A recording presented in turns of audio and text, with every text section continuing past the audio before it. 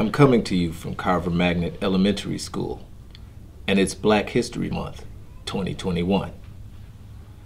I've been sitting here reflecting on all the iconic contributions that African Americans have given to not only the United States of America, but the world, be it athletics, politics, aviation, medicine, etc., etc. Let's take a peek into the life of one of these very successful individuals with our hostess, Amari Griggs, as we enter an area which we call the flashback zone.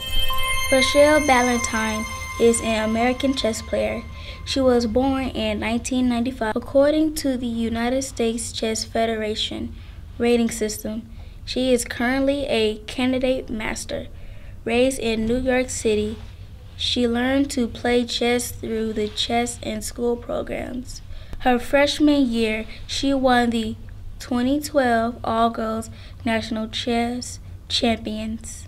In the fall of 2020, she began law school at New York University Law School, fully funded by the AnBryce Scholarship. Now that's an icon, you should know. I had a goal of becoming a master, the first African American female master since I was in eighth grade. Close to 200, I realized I could do this. It's realistic.